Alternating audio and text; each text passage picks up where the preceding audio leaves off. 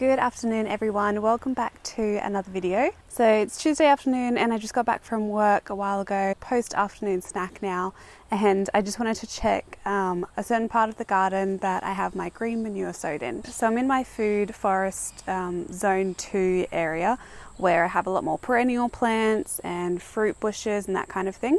But the way I want this to progress, this area, is to not have to come and tend to it every day. And so this area can kind of look after itself. But before it can do that, I need to give it a bit of a helping hand. So the two things that I'm doing right now is doing a deep mulch of the area, and the second is green manure on some of the bare soil. So I'll give you a bit of a pan of the area. So I've got three main rows on this side, and then kind of one bed here, and then another down below here. So I'm in the process of changing over some of the okra for some other fruit trees. The capsicums are still doing really well. We're getting a lot of um, sweet capsicums off that. But this area is generally where I've been focusing on doing a lot more of the work. So one of the things I did yesterday was give it a first mulch. So this mulch that I used was sugarcane mulch. It's what I have really readily available in my area. There's a lot of sugarcane in Queensland. This is really nice, fine mulch that should decompose pretty quickly. And I've noticed a big difference even just having it down for one day. Underneath the mulch, I've also got some weeping hose, so this weeps out of the sides, and then the mulch on top kind of retains the water. So cucumbers are loving it. So, mulching an area like this can actually retain up to 70% more water than an area that isn't mulched. So, I definitely need to do that in the climate I'm in. We get pretty dry winters and it stays really dry up until the end of summer. So, now we're starting to get our rain. But I want this to be secure if we do stay for another year here um, so they don't have to do too much next year. So, other than just retaining moisture, um, mulch helps build up your organic matter in your beds.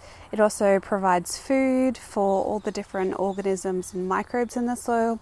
So, your worms in the soil are going to benefit from this. It might not look like a lot to you, um, but there's actually a lot of minerals and nutrients in this carbon rich material um, that a lot of microbes will benefit from. So, and it's also going to save you money in the long run. If you're protecting your soil, you're going to have to fertilize less. You're also going to use less water. So, I am a big believer in doing a heavy mulch, as a lot of people are. The only downside is that mulch can be quite expensive. Um, so, buying this much of mulch here that I've mulched my two rows here was about $14 for a bag of mulch like this. I know I can get it a lot cheaper, but I don't really have a trailer to go collect mulch. That is the next priority on my to buy list. But if mulch is too hard to get in, another really great option is green manure. So, green manure is essentially growing your own mulch, but it's not also growing mulch, it's also remediating your soils. So, you saw that I mulched those two rows. The third row uh, has really bad soil and there are mini boulders within the soil. It's just too hard to dig, not a lot grows on this side. Um, so, what I'm doing here, instead of just mulching it and um, building it up with more carbon rich material, it needs more nitrogen rich material to build up that organic matter in this side.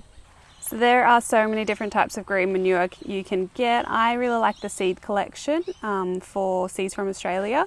They've got a really good variety and their green manure is a decent price. So I'll show you this summer mix that I've put in this bed here. So this is the green manure mix that you get from the seed collection. Um, it doesn't actually tell you exactly what's in it. It generally just has a variety of three different seeds. These are the seeds in this summer mix. So I've got some sunflower. I believe the green ones are mung beans and I think millet as well. So you've got more a grassy type, a bean nitrogen fixing, and sunflower also more kind of nitrogen fixing and puts different types of minerals back into the soil as well as all providing organic matter. If you're in a colder climate, you might want to think about starting to plan your autumn and winter mix. It doesn't really get cold here until like May, so I've got a lot of time. And again, in this one, it's got a type of bean. Um, I think it's got some buckwheat and some kind of grain in it as well. So those three varieties are really good to have some kind of nitrogen fixing species, a taller species, and some grass to have those multi layers of green manure. I should also mention I'm also planting fenugreek in my winter and autumn mix, and the seeds look like that. And fenugreek is a really good nitrogen fixer for this area. So this is the area that I've planted my green manure in, and I've planted this about a week and a bit ago, and I can already start to see lots of beans coming up. So I've got some beans coming up here. I think this is the millet coming up, and let's find some sunflowers. And I think this is one of the sunflowers coming up.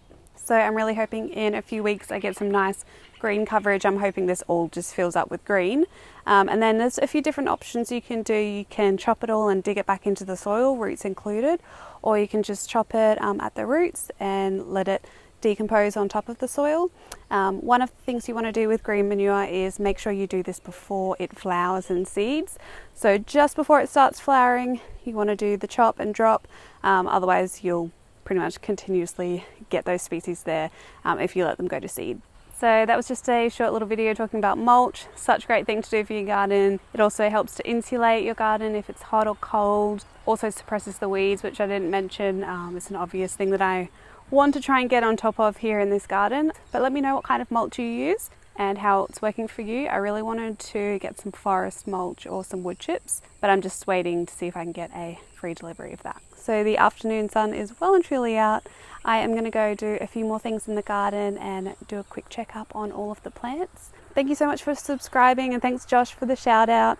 I managed 100 subscribers, so yay.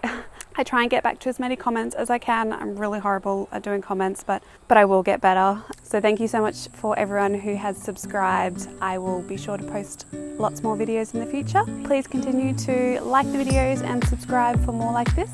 And until my next video, happy gardening. Bye.